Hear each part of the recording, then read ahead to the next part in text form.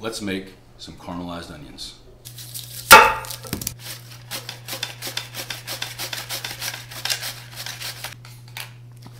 You can see how many onions it takes to make caramelized onions.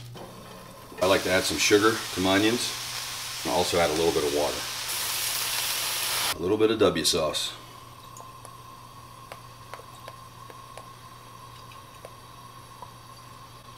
And we're gonna let it go low and slow.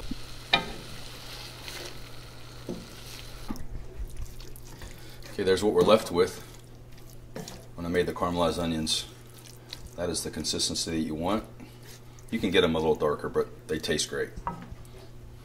So this is what we're left with. We've got all these beautiful onions sweated down. I'm going to give them a taste. Still steaming hot. Man, they're so sweet. That is one of the best condiments you can have for steaks and sandwiches. Um, nice thing is you can put them in a container like this, store them in the fridge for a week or two, and use them whenever you want. But uh, give this a try. You'll be glad you did. Thanks for watching. Please hit like and subscribe, and I'll see you next time.